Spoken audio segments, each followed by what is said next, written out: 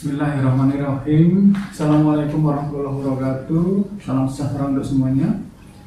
Saya Sekretaris Dinas Pendidikan dan Kebudayaan Kabupaten Wonogiri.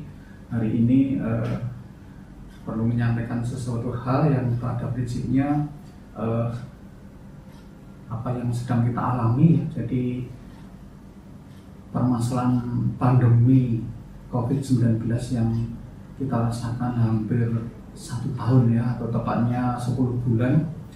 Uh, semuanya jadi banyak hal menjadi kita semuanya harus mengubah konsepnya merubah target dan terutama uh, di dunia pendidikan kita harus banyak merubah konsep ya. Salah satunya adalah uh, yang panjenengan semuanya sudah tahu uh, PJJ dan saat ini kita tetap melaksanakan PJJ di tengah-tengah uh, pandemi COVID-19. Bapak Ibu semuanya yang kami hormati, jadi uh, pandemi ini, nah, sebagaimana kemarin baru saja uh, Pak Menteri menyampaikan tentang kebijakan pembelajaran tatap muka. Jadi salah satu kebijakannya adalah pembelajaran tatap muka tidak bakal kita laksanakan tanpa persetujuan dari orang tua melalui uh, komite. Jadi itu menjadi uh, pegangan kita semuanya bahwa uh, mungkin dalam waktu dekat ini kita masih tetap akan melaksanakan PJJ di masa pandemi.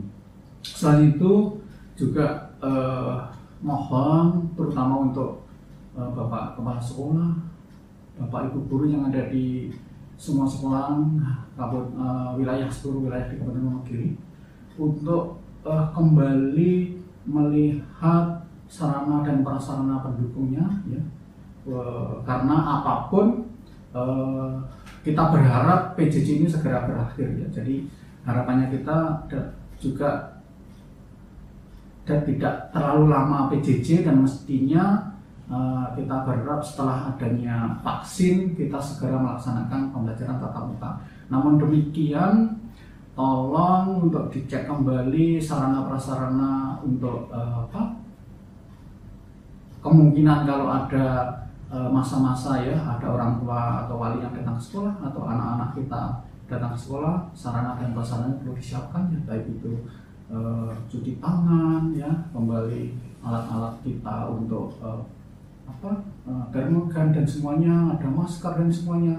Mohon itu dicek kembali dilihat kembali agar uh, kapan pun uh, kita siap apabila ada perintah kita siap untuk melaksanakan pembelajaran tatap muka.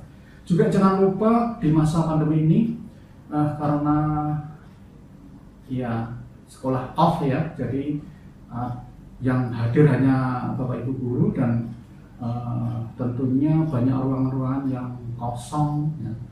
banyak alat-alat kita yang juga uh, kemungkinan masih terpasang, ada uh, eh, LCD dan semuanya itu mohon dicek kembali ya, diperiksa kembali dan setiap saat diuji coba sehingga ketika proses tatap muka semua alat-alat kita itu siap semuanya ya termasuk ada handset ya yang di beberapa tempat kemarin ada pengadaan untuk laptop, ada handset dalam bentuk uh, eh, HP, semuanya mohon dicek, dirawat ya, uh, baterainya setiap saat dicas sehingga uh, tidak ada kerusakan ketika suatu saat akan kita manfaatkan juga.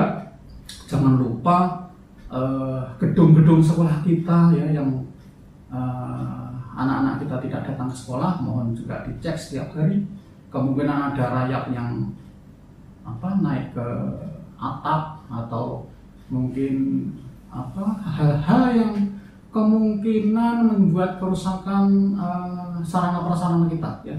Mohon itu juga diperhatikan dan baik.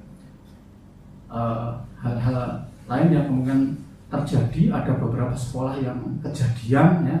Ada pencurian ya.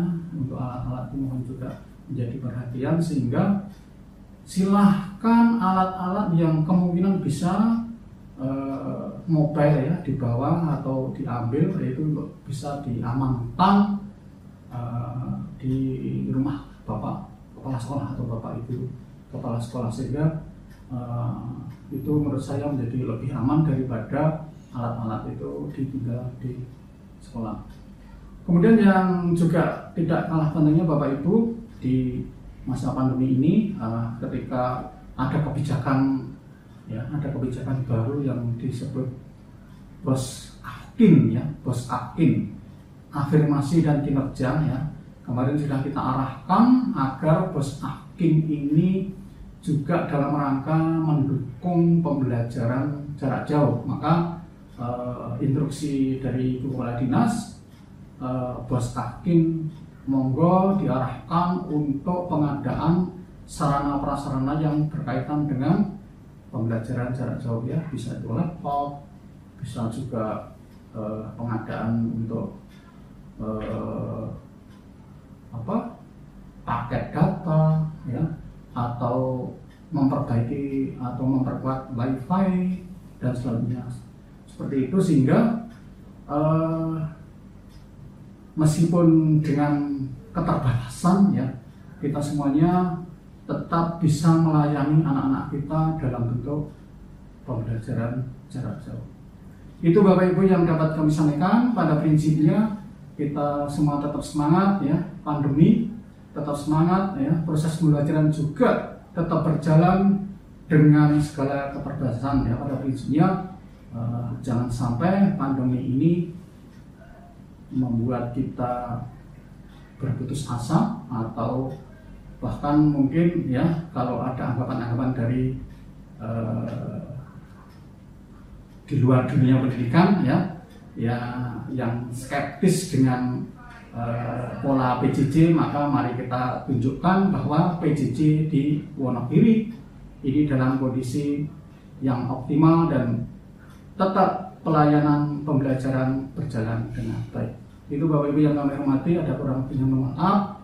Assalamualaikum warahmatullahi wabarakatuh.